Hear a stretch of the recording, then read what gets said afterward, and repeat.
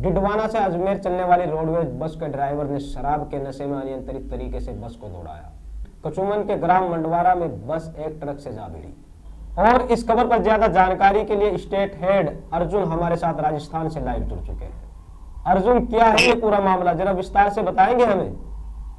जी जी, ये जो बस है, डीडवाना डिपो की बस थी ये डीडवाना से अजमेर के लिए चलती है, रात के टाइम में चलती है। तो जो इसमें जो ड्राइवर था, भंवर सिंह शराब का नशा कर रखा था और बस को गलत तरीके से चला रहा था।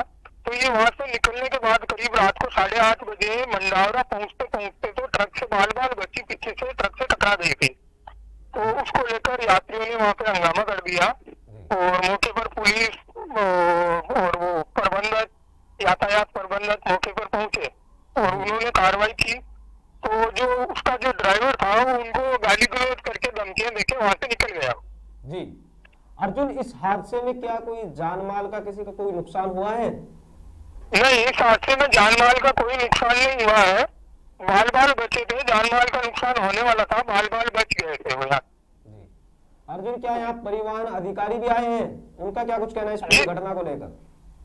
जी जी यहाँ पे अधिकारी आए थे जो डीडवाना डिपो का जो प्रबंधक है वो मौके पे आए थे। और उन्होंने मौके पे आके कार्रवाई की थी तो उस समय जो चालक था वो फरार हो गया था उनके परिजन आ गए थे तो चालक को लेके वो चले गए जी शुक्रिया अर्जुन तमाम जानकारी साझा करने के लिए।